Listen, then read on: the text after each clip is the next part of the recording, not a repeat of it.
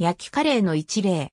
文字工レトロチックの黄金虫の物焼きカレーとは、米飯の上にカレーソースとチーズなどを乗せ、オーブンで焼いたカレーライスの一種である。焼きカレーの始まりは、昭和30年代の福岡県北九州市門司港の栄町銀店街にあった山田屋という和食店。土鍋にカレーを注いでグラタンドリア風にオーブンで焼いたところ、実に香ばしく美味しく仕上がったので、後に店のメニューとして出し、好評であったという逸話が残っている。門司港は九州の最北端に位置し、明治から戦前にかけて国際貿易港として繁栄した港町である上、洋食文化がいち早く発達したことから、焼きカレーなどのハイカラメニューが誕生して手軽に作ることができたため、家庭料理としても広まっていったようである。現在でも30店舗以上のお店で焼きカレーが提供され、文字港の名物料理として親しまれて、焼きカレーマップが作成されるほど、ご当地グルメとして定着している。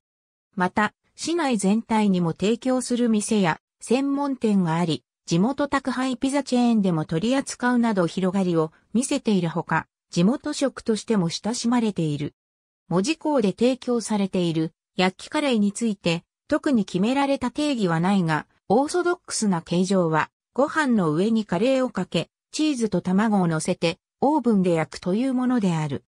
しかし、お店によって卵が乗っていないものもあるため、少なくともカレーとチーズがかかっていること、焼いていることに条件が揃っていれば、焼きカレーと呼んでいるようである。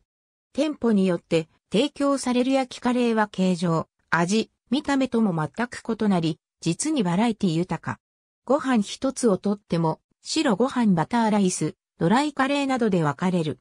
さらにルーは、ビーフ系か、シーフード系か、濃さや、辛さなども異なり、卵の有無、かかっているチーズの量や、種類なども様々。トッピングに、関門海峡の味覚、フグやタコが乗っているお店もあるなど、各店志向を凝らした焼きカレーが提供されている。2007年3月には、門司港の焼きカレー提供店によって、焼きカレーによる観光振興と地域の活性化を目的とする団体、門司港焼きカレークラブが設立された。